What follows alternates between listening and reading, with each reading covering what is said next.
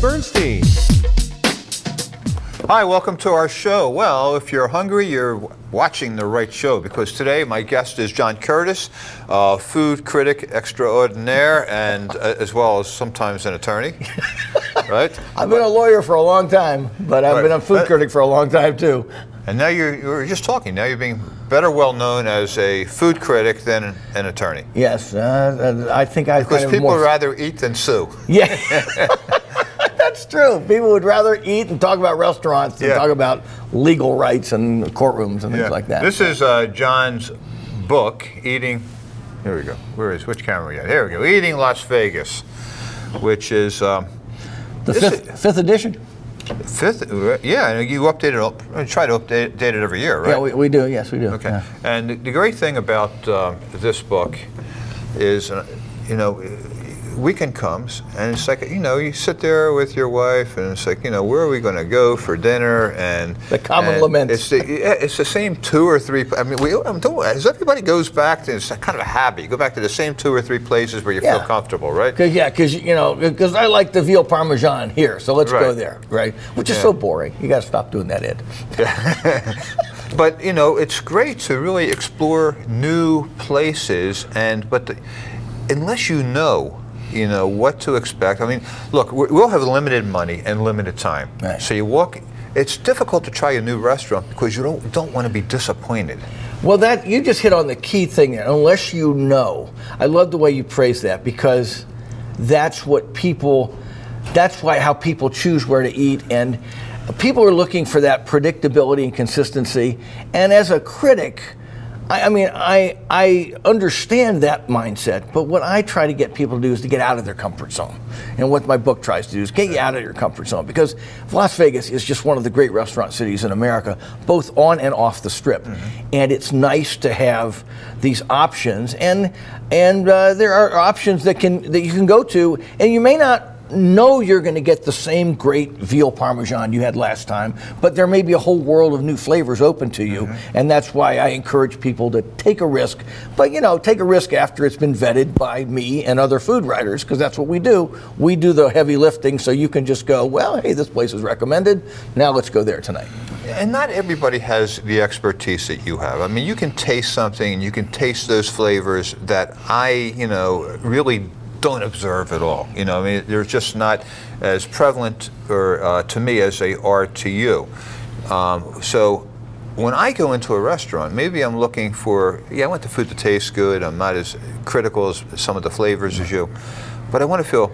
I like you know, the ambiance, the the friendliness, the you know, Service, You know, it's yeah. kind of like chairs. You know, you know, everybody knows your name. You know, you feel Yeah. comfortable going back. Yeah. People reckon. You know, you know, it's. I mean, that's that's an important ingre- ingredient also. Well, I think most people choose food restaurants on the basis of service. And the big difference between a professional food writer and, and the, the amateur, the, the consumer, is service isn't as big a deal to us. I mean, I, I always like to say that I, I don't care if they dump soup on my head as long as it's good soup, okay? But to mm-hmm. the but to the average person who only goes out once a week or twice a month or maybe only two or three times a year, service is very important and comfort is very important.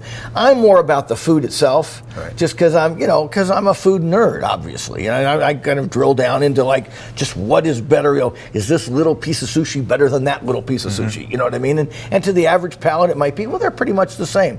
So I make those distinctions, but uh, I understand that people are looking for service and good service, and. Uh, I find in, in most of my travels, in places I've known and in not known, I see service very, very is very good in this town. I think Las Vegas restaurants have some of the because of our tourist industry, Right. we have some of the best service across the board. And I like you, I travel the world and the United States, and boy, wherever you go up and down the strip, you get top quality service. Very rare to get bad service in a Las Vegas restaurant. And we teach it here now. Isn't UNLV now known as like the number one uh, Oh, yeah. university in the world? Uh, f- Yeah. You know, at least for sure in the United States. Right. You know, if you want to learn something about the restaurant business. And it's a trickle down. It's kind of a trickle down theory too, because of our strip restaurants, the high toned French places, the great steakhouses, the the big hitter places, the Bellagio and the Wynn and the MGM. Because they are so good, the place in the neighborhood, you have people either coming from or going into the strip, and that that rising tide ri- raises all boats, and and that's why you even see in little mom and pop restaurants now.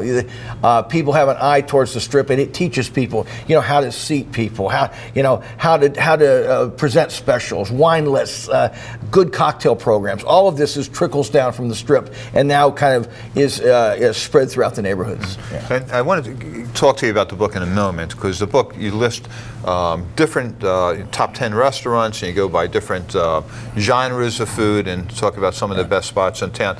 Eh, But a lot of these restaurants in Las Vegas are um, manned by very famous chefs.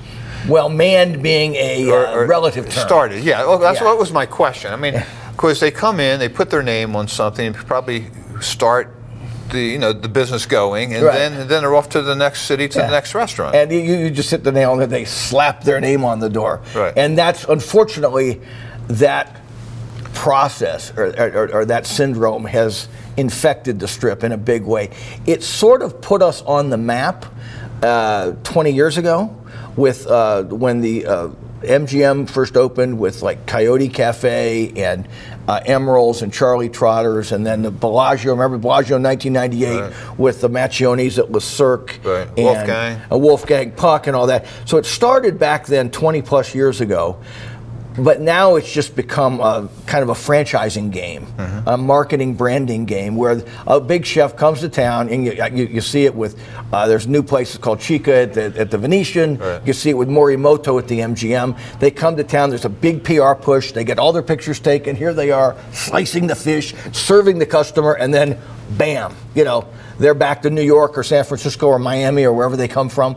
And all they've really done is they have licensed their name to the hotel to use that uh, for marketing purposes. And part of the contract is then they come to town two or three times a year. They make a big show of it being their restaurant, but they're not. They're not running the restaurant. The restaurant's being run by the hotels, and don't don't make any mistake about it. It's a it's an MGM restaurant or a Caesar's Palace restaurant. It is not a Bobby Flay restaurant. So would you then um, recommend um, our, to our viewers not to choose a restaurant by who the chef, the famous chef's name at the restaurant? That, well, that's that, that's another great question because it kind of depends. Because some of them run great, great programs, even though they're absentee celebrity chefs. Mm-hmm. I think Wolfgang Puck generally across the board.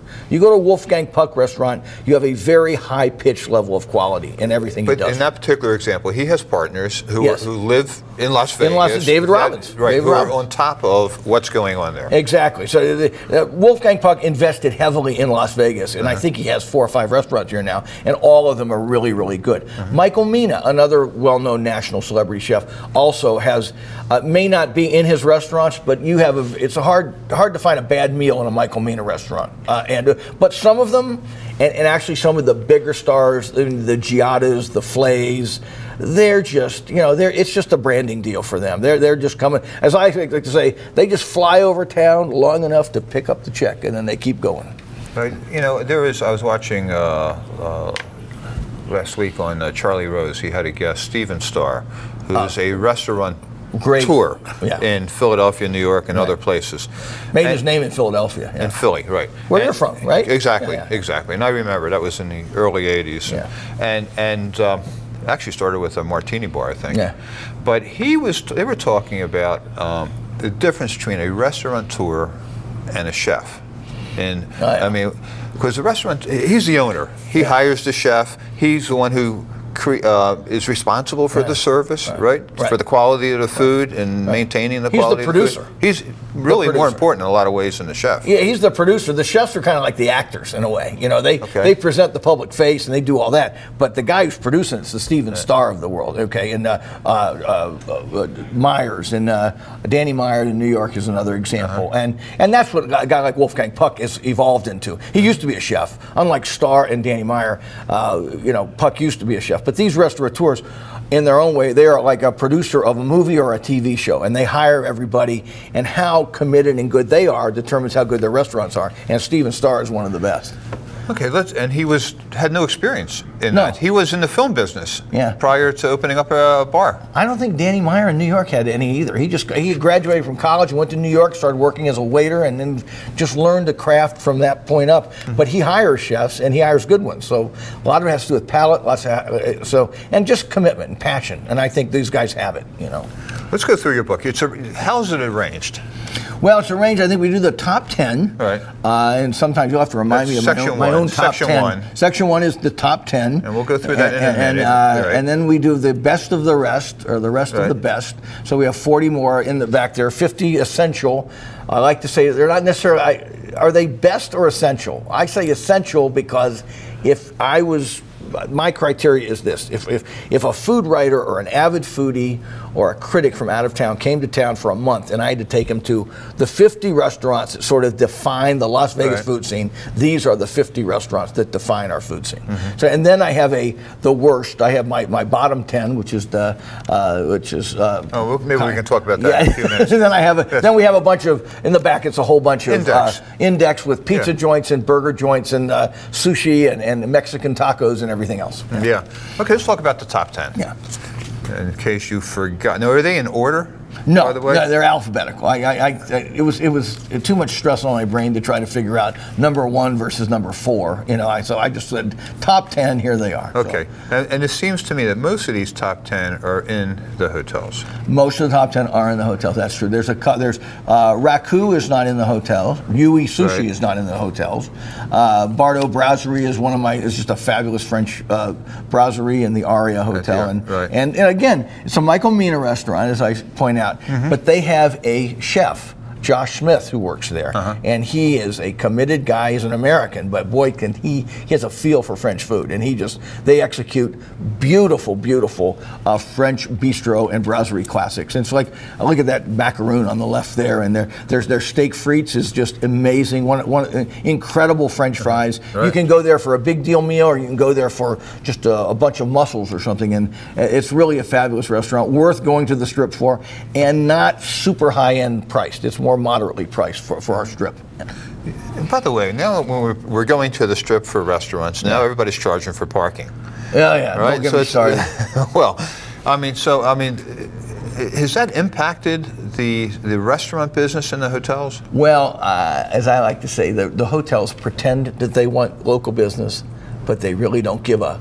Right. They don't. Right. Okay. They. I've been hearing this. I've been covering restaurants here 23 years now. And you know, when times are tough during the recession, oh yeah, we're trying to get locals to come in. They don't care at all about locals. Unless you're a local Yeah, yeah, yeah. Uh, hotel casino. Yeah, yeah, yeah. I mean, they, they, they, they, 90, 97, 98% of their business comes from conventions, and mm-hmm. that's all they really care about. I mean, if you're a local, they- they, they welcome the business, but in terms of catering to locals, forget about it. So you was uh, was this Carbone or Carboni? How do you say that? Carboni, which Or is an Italian restaurant in our area. It's relatively new, right? Relatively new, big, uh, made a big splash in New York about five years ago. New York, it's a little tiny little restaurant. Here, they've expanded it to uh, uh, to a large space. Really romantic interior, old time Italian classics like you would get in big, Philly. big, big dishes. Right? Big, big, yeah, big Yeah. format dishes. Great pasta. I mean, yeah. people said, "Oh, you know, it's it's it's kind of a change from New York," but man, did they they nail it? I mean, if you want to have a great Italian, old school Italian meal, Carboni does it. Yeah. Yeah. And when, by the way, when you walk in these restaurants, uh, you're very uh, recognizable. Yeah, the water, the water's part, basically, and I just Right. stroll across the water until I get to my seat. No, so I assume that every year you have to, you know, re-up, you know, Yeah. your your your, uh, your your critique of the restaurants, and and you're Yeah. walking in. Everybody know here. Here comes our John Curtas. You know, Yeah. um, you know, we have to be on our toes. That's a fair question. Uh, it, yeah, I, I'm not anonymous in the least bit anymore. So all I tell people is I go in. They don't change the food when I walk in the door. I walk in and I eat and I get the big deal service and all that. And sometimes I pay, but sometimes I do not pay. I try to be very upfront about that, and I even say it in the book. But I try to, I just do the best job I can in critiquing the food. I don't mm-hmm. try to critique the service, like going back to what we said earlier, because it's not. Uh, You know, I don't really get the same service everybody else does, so I rarely mention the service. I tell you how things tasted to me, but I've been going to these places uh, dozens of times now, so I, I think I have a pretty good handle on that. And about half of the restaurants in the book don't know who the hell I am. Half of them do. Chinatown, they couldn't care less. I could Right, be yeah. Donald Trump walking in, and they wouldn't care who I, Yeah. I am. So, so that's. Uh, and it's a good thing you're not rating the service. yeah, those- yeah, Chinatown's not known for its service. Which which which uh, hotel? If, if you had okay, you have to go out one night and show somebody you know, some great restaurants. What hotel, in your opinion, has the, the greatest number of great restaurants? I would say it's a toss up between Bellagio and Aria.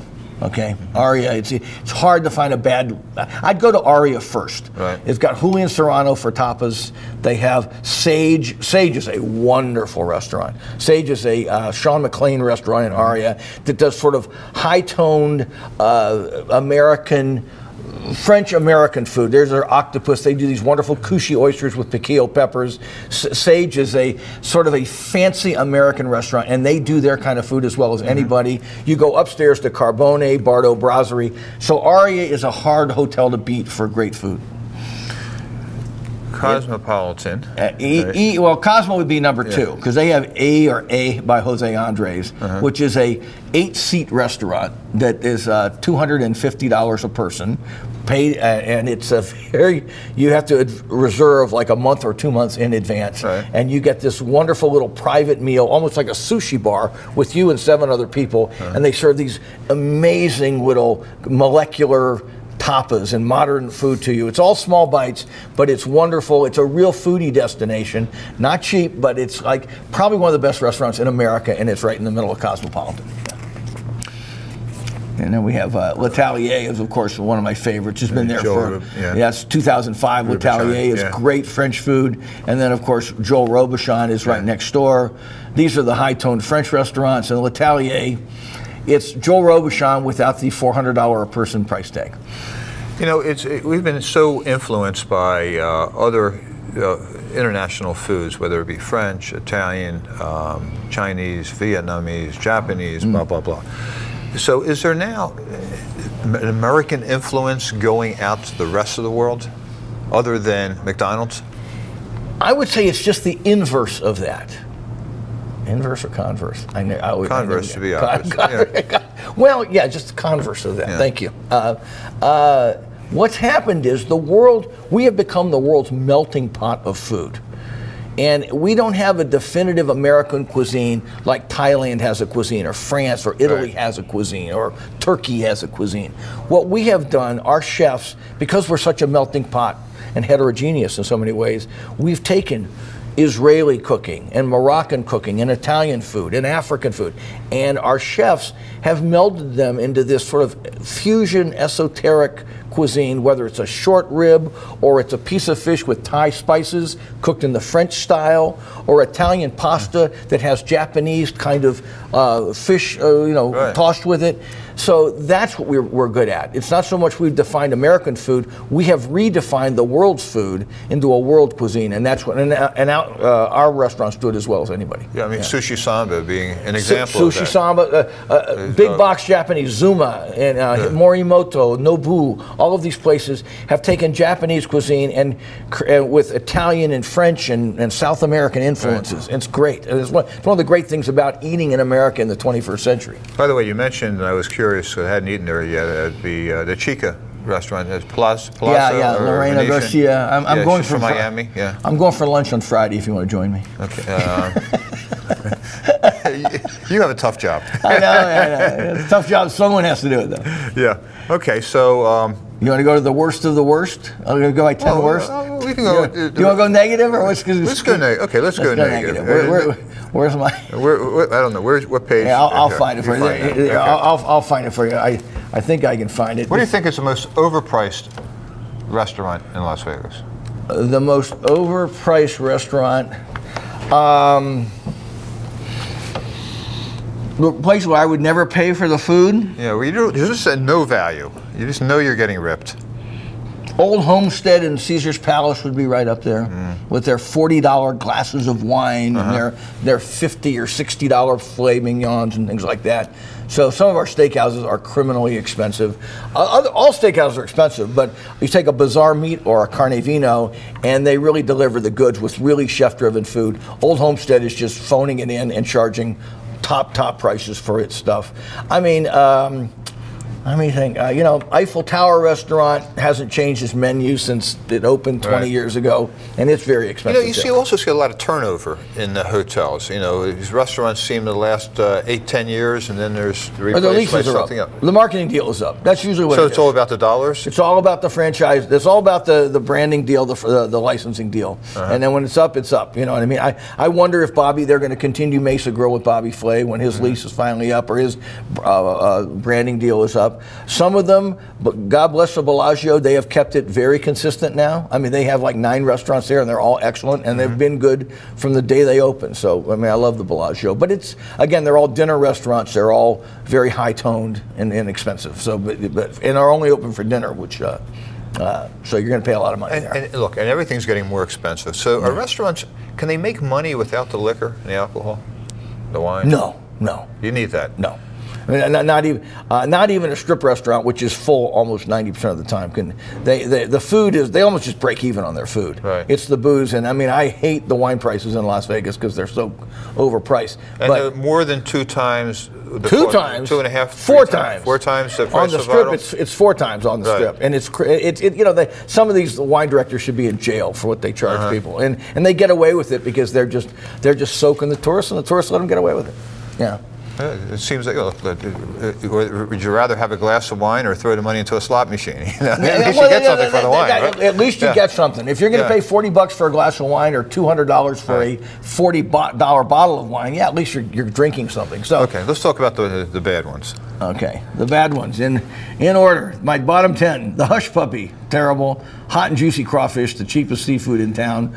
Bob Taylor's Ranch House. They haven't, you know. Because at one time, Bob Taylor's Well, was, you know, in the 70s and 80s in this town, it was like, hey, let's drive out to the middle of the desert and go have a steak. I thought I, you and I probably ran into each other yeah. back in the day at Bob. Yeah. I used to love it. Mm-hmm. I went out there. Oh my God, brown lettuce, tough stakes. Uh-huh. I mean, they're just going through the motions. I'm not going to pick on everybody here. Uh, the uh, celebrity chef places I can't stand. Rivea, which is an Alain Ducasse restaurant at the top of Mandalay Bay, which is it's it's a French guy trying to do Italian food Uh-huh. and charging you through the nose. That might be the most overpriced restaurant. Rivea, and then of course Olives, which is a Todd English restaurant, which is terrible, but it's got such a great location in the Bellagio. Bellagio, yeah. It's full 100% of the yeah. time.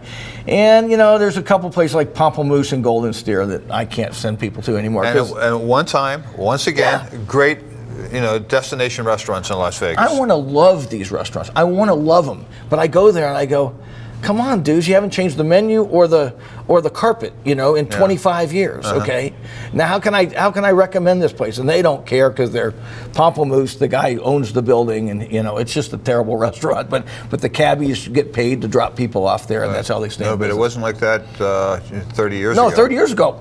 It wasn't that way 15 years ago. Mm-hmm. But man, I wouldn't go there now with someone else's bank account. With your, I wouldn't let you pay for a meal there, Ed. Yeah. The um, let's talk about the fast food. Okay. Let's talk about the good stuff here. I mean, okay, pizza. Where's the best pizza in town? I knew you were going to ask me that, so I'm, I'm prepared with the answer on that. One. Uh, well, I, I like for mass-produced pizza, I like Metro Pizza a lot. Right. I, uh, for gourmet pizza, Settebello. And downtown, have you been to Evel Pie downtown? No, no. Evel Pie is great. It's New York pizza. Right. It's that kind of thin, Thin- thin crust, crust. thin crust with a good marinara sauce and good, uh, Mm-hmm. good quality uh, mozzarella cheese. Evel Pie, which is a kind of a, um, a business being run by one of the Fine brothers and uh, the Uh-huh. son of Evel Knievel. I, I, went, I thought I was going to hate it, and it's great. Evel Pie, go to Evel Pie if you like a good New York style pizza. Yeah, well, the, the, the Fines have really gotten into the restaurant Oh, yeah, business. yeah. Right there, and uh, Jamba Juice and Yeah. uh, Coffee Bean and Tea Leaf. And the Golden others. Tiki they own, Yeah. and one I, I get I get confused which which fine son So Jeff, uh, Jeff, owns which which. Oh, I don't know. I think it's Jeff. yeah, but yeah, they, but they Evel Pie was a big big home run for them, and, and I and I, I love it. So when you go and evaluate pizza, I mean, there's essentially two types of deep dish and a thin crust. I mean, you start there. I Deep mean, dish isn't pizza; it's a casserole. Okay, but there are people who like this Chicago type deep Yeah. dish kind Big of pizza. Big fat Midwestern people. Yeah, yeah. Sorry, Okay, sorry, big fat Midwestern. But but you really prefer the, the I do also the- Yeah. the, thin. I like it thin and crisp. I like to make you know like uh, Due Forni. They can make a pizza in uh, in three minutes or six minutes or something. They Put it in a Oh, special I, for- oven. I forgot to mention Due Forni. I, I'm sorry, Due Yeah. Forni's right at the top too. Uh, Right. Thank, thank you. Uh, yeah, I like. Well, what I look for, I look for ingredients. You know, I look for a good crust, and then I look for a good marinara sauce, and and decent meaning not Polly-O. Sysco cheese Mm-hmm. on top. There's mass-produced cheese, and there's better quality mozzarella, and you can taste the better quality mozzarella on a better pizza, like they do at Due Forni. Yeah. What about burgers? Now, I, I have stopped eating hamburgers. Now I'm eating veggie burgers. And I go to Whole Foods, and there's a product there called Beyond Meat that has a veggie burger that tastes identical. You'll never believe this. and, Uh, one day I'll have to get you one. It tastes You're dead like to it. me, Bernstein. You're dead to me. but but uh, let's talk about burgers. Uh, burgers. First of all, never eat anything that's named after something else. Got never, it. never eat a tofurkey, you know, a, turkey, a tofu Turkey turkey. bacon. Yeah, yeah, a turkey bacon. Never eat something named Yeah, after something else. yeah. Uh, I like a real hamburger. Although veggie burgers, I, I'm not a vegetarian, but I understand. Skip the veggie. Let's get to the good stuff. The okay? good stuff. Where, Good- where do you go for the best Good- hamburger in town? Good burgers. Mm.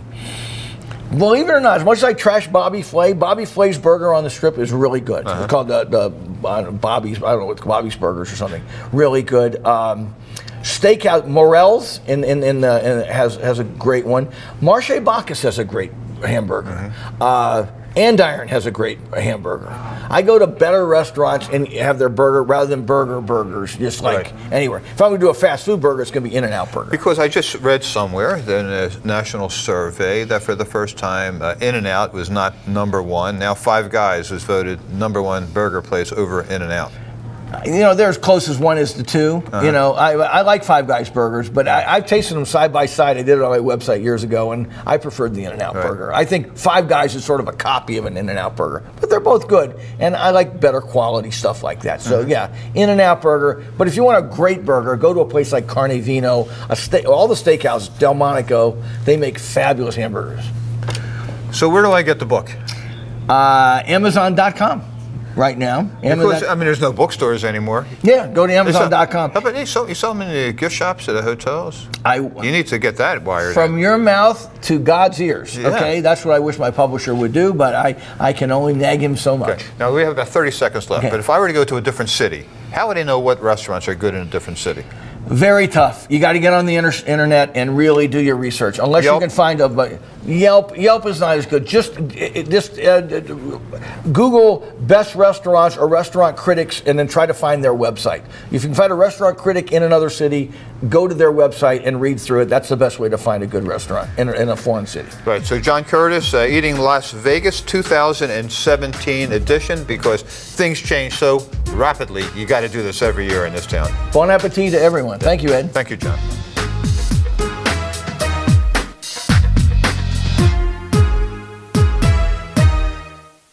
There are many types of careless drivers those who text and drive, drink and drive, and those distracted drivers. If you've been hurt, you need to call me. Enough said. Call Ed. EdBernstein.com.